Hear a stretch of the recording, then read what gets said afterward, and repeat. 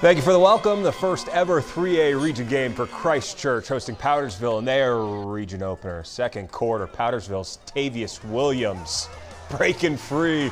He's got an open field and a lot of grass to cleave on down. Touchdown Patriots. They go up 7 to 6. Later in the second quarter, Christ Church with the ball now. Tucker Hendricks.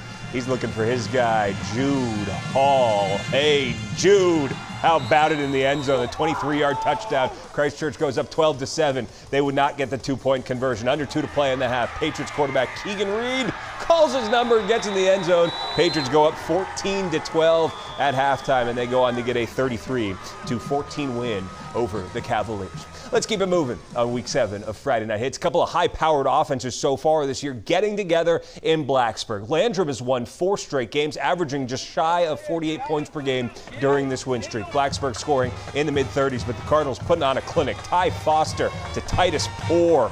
Nice grab right there into Blacksburg territory. Not long after that, Poor caps the drive from 15 yards out for the Landrum touchdown. And the Cardinals just getting going, picking up chunk gain after chunk gain. This is Aiden Kelly with a long run on the ground. Landrum now on a five game win streak. They beat Blacksburg 28 to 6. Well, after winning three of the last four titles in 3A, the Daniel Lions kicking off their 4A region run tonight. Travelers rest coming to Central. The Lions were cruising in this one, already up big in the third. Kareem Shaw punching it in from the one, adding to Daniel's lead. The Lions are up 47, and the Daniel defense also lights out. Cade Spencer, about the big sack there? Lions complete the shutout. Daniel wins 53 0 Sky 4 over Wade Hampton Generals taking on the 3 and 1 Boiling Springs Bulldogs. This one all Boiling Springs. Second quarter, Bulldogs quarterback Lincoln Husky firing it into a wide open Kyle Patterson there. Bulldogs up 28 0. Then in the final seconds of the second quarter, Generals QB Tegan Hamrick looking to pass downfield but he's picked off by Ryshawn Morgan. Boiling Springs wins big, 55 to 14. Quick look at some other area scores. Ware Shoals winning big over McCormick, 47 0. Batesburg Leesville beat 96, 42 to 14, and Crescent dominated West Oak, 56-7. We also have some games coming up tomorrow. Greenwood plays at Greenville at noon, and TL Hanna takes on Woodmont. That's also a noon kick.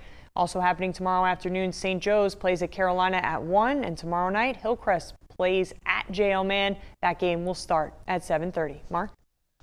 Clinton has not lost a region game since 2021, but the Red Devils moving from 3A to 2A this offseason, getting their region going at home against Chesnee. Let's show you the highlights of this one. Clinton's Tyshawn Richardson Makes a lot of plays for the Red Devils. He's doing it here, passing to Devin Swindler for the 25-yard touchdown. Red Devils go for two. They get it, and they lead 8 to nothing. Richardson, this Clinton Red Devils offense just starting to flow. He finds Noah Garrett for the 21-yard strike. 15 nothing. Clinton, I'll say, and it's all Red Devils here. Chesnee would score some touchdowns in this game. TJ Proctor calls his own number, gets in the end zone, but it's the Red Devils with a 46 21 win.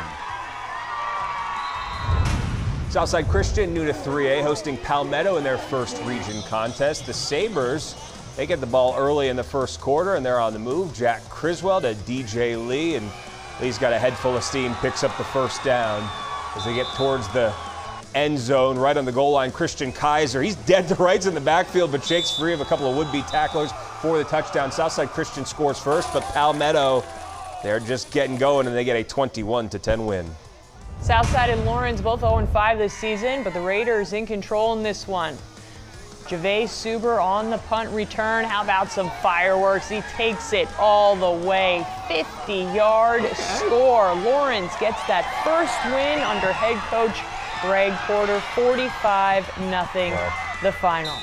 Mark, it was certainly great to have high school yeah. football back. We missed it. We certainly did. Three weeks without it, and we're looking forward to continuing this great season. Another step towards normal tonight. Week seven of Friday Night Hits now in the books for Julia and Chase and our entire hardworking crew. Thank you so much for joining us. We'll see you next week, same time, same place.